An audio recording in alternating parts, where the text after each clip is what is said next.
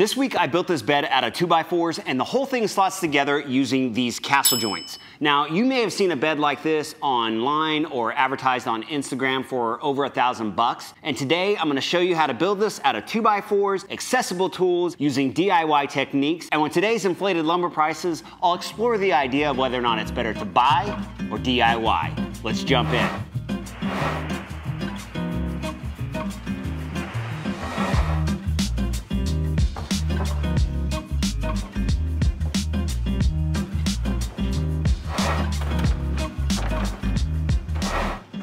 I used 11 2x4s to build this bed, which cost me about $8 a piece at my local Home Depot. And I'm gonna give you a full cost breakdown at the end of this build, but I'll go ahead and say it's much less expensive to build this versus buy it. First up, I ran those 2x4s through my planer to flatten both sides, which also gets rid of those rounded corners. And the finished dimension was just a hair over one and an eighth inch thick. I wanted to show you how you can build a castle joint bed using additive joinery versus having to use chisels and hand tools to build the legs and those stretcher connections. Right now I'm cutting the pieces that will get sliced up and then glued back together to create the legs, and I use this Rockler hand screw clamp as a quick stop block to make those repeatable cuts.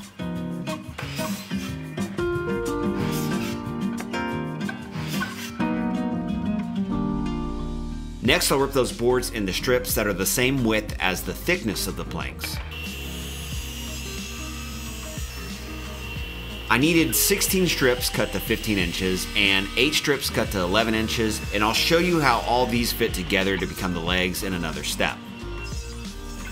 These full length boards I'm ripping into strips here are for that ledge that runs all the way around the bed frame as well as those ledges on the inside that hold up those slats.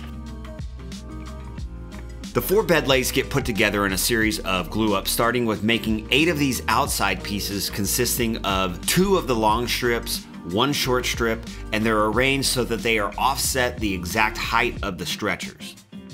The other end is going to end up uneven, but I'll cut that flush once all the legs are built.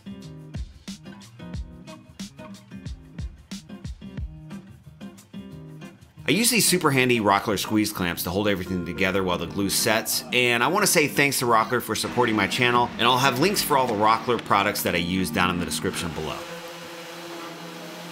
Once all 8 assemblies are out of the clamps, I sanded them up to get rid of any glue squeeze out. Using two of the outer leg pieces I just glued up, I sandwiched an 11 inch board between them and made sure to align them with the shorter strips on those outside pieces. Again, I used some of these Rockler squeeze clamps to hold it all together, and now I've created the castle portion of the castle joint using additive joinery without using any chisels. Here, I'm cutting some more of those plain down 2x4s to their final length to become the 85 inch long side stretchers and the 65 inch long head and footer of the bed.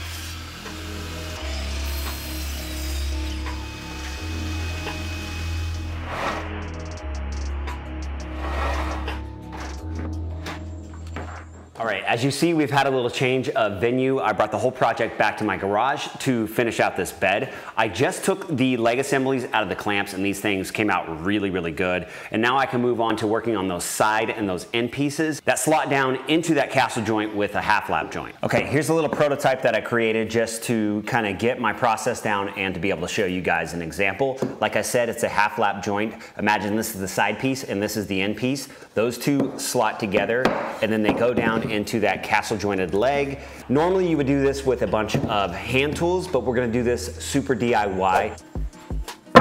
Here you can see how I labeled each end that will slot together to match the corresponding leg, and this was super helpful to keep everything organized and not cut anything the wrong way. I'm using the actual legs these pieces will slot down into to mark the lines that I need to cut those half laps. Since I'm using pine lumber for this build, which is a softer straight grain wood, those ends are going to be susceptible to breaking if I get the joint too tight. I'm adding in this diagonal offset to provide relief so the joints don't break, and you'll never see that once this bed is completely assembled.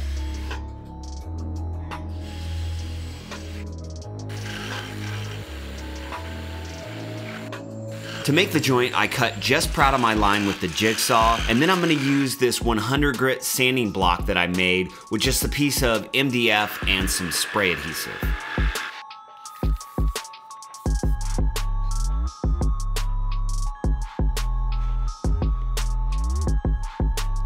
I came back and used that sanding block to refine my cuts and sand everything back to those lines that I drew earlier.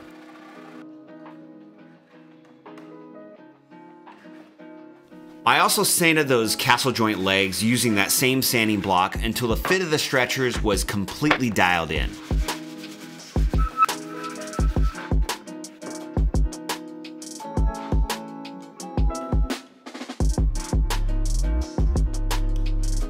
I measured 13 inches from the top of the legs and set up this Rockler squeeze clamp to act as a stop block while I cut all four legs. And I really love the pattern on the end of the legs that was created from gluing them up in this fashion.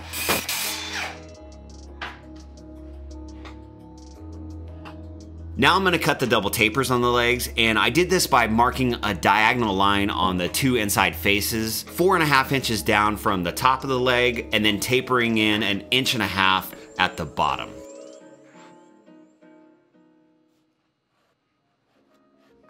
To cut the tapers, I'm going to use a circular saw and freehand cut them just proud of that line that I marked. The saw blade on the circular saw doesn't go all the way through, so I have to finish those cuts with a handsaw. Taking that offcut, I taped it back onto the leg so I can reference off that surface to make the second cut on the other side. I did the same thing as the first cut and freehanded it with my circular saw and then finished that off with the handsaw. When that was done, I peeled off the tape, which reveals that double taper, which I think looks super clean.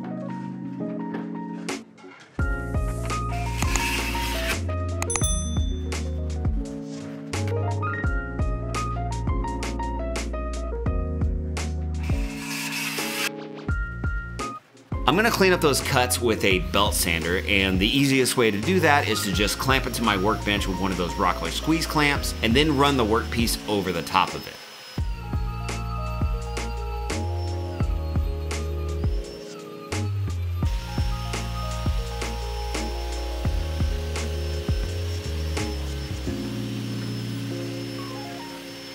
I came back with my orbital sander and sanded everything up to 220 grit.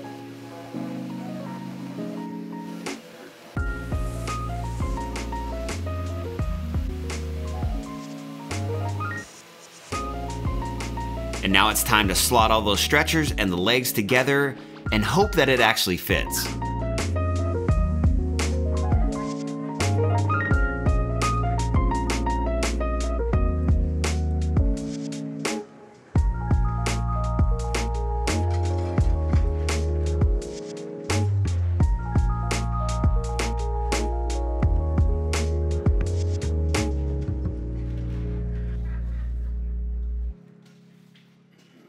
Now I'm going to work my way around the bed, cutting the ledges for the stretchers and the end pieces to fit. I'll take my time with these cuts and make sure to sneak up on that final fit. These ledges fit right up against the legs and help add rigidity. As a matter of fact, this bed seems a little bit wobbly when you first put it together, but by the time everything is attached, it becomes rigid and super strong. With all four ledges cut to size, I can glue them on and clamp them in place so that they're flush with the top edges of the stretchers.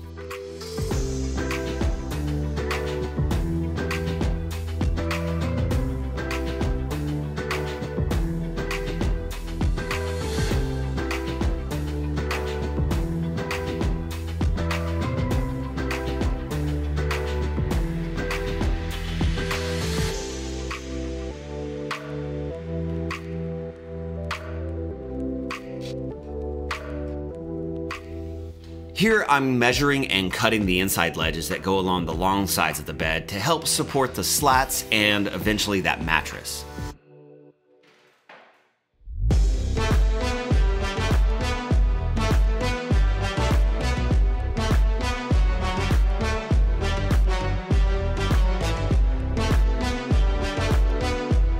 Again, I'm gonna glue these on, but once that glue was dry, I came back and drove in some screws to help reinforce the ledges.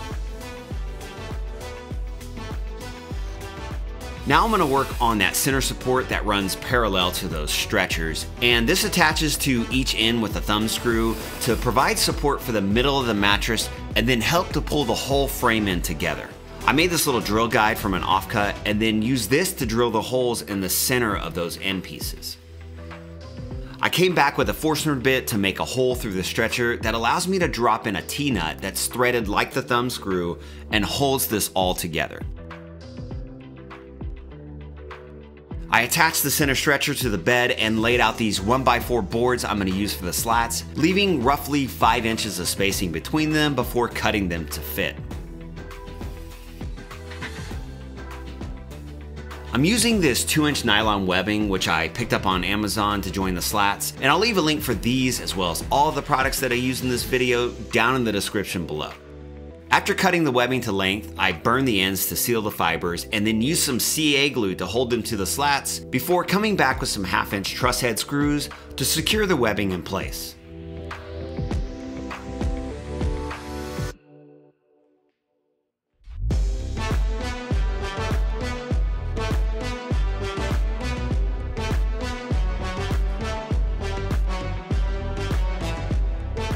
Now I'm gonna work on a headboard, which I'm making out of 3 quarter inch plywood and some 1 inch foam. I cut that plywood to 24 inches by 58 inches, which is the same size as the foam that I ordered online, and I'll leave a link for that foam that I used down below.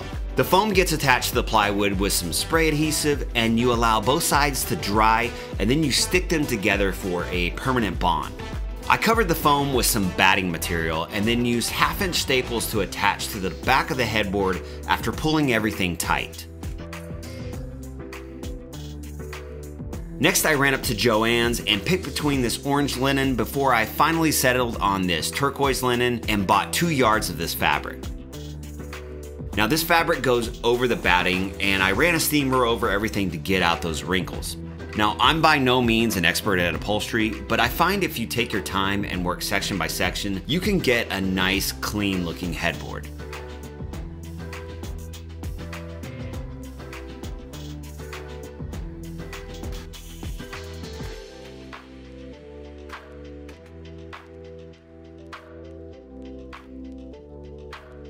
To the bed frame, I had glued these offset strips into pairs, which I'll clean up and glue together to create the middle support for that center stretcher.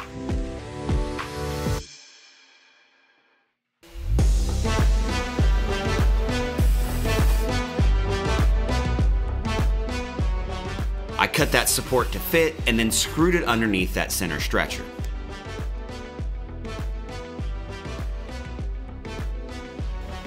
Now all that's left is some finish sanding and a few coats of Maker Brand Simple Finish, and this bed is done.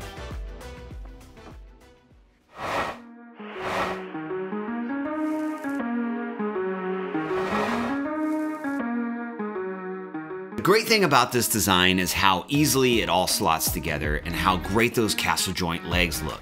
Like I mentioned, if you were to purchase this bed online, it's gonna cost you around $1,100. Here I used 11 2x4s, 11 1x4s, two thumb screws, the T-nuts, the nylon webbing, and those truss head screws for a total material cost of $330.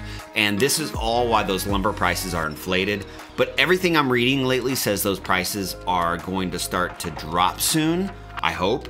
Even with those inflated lumber prices of 2x4s, this bed is less than a third of the cost if you were to buy it. It's a super satisfying project to build with those beautiful, clean, modern results. So I'm gonna say it, it's worth it to DIY versus buy, but let me know down in the comments below what you think. Make sure you get subscribed to check out my next projects. And as always, thanks for checking this one out, and I'll see you back here next time.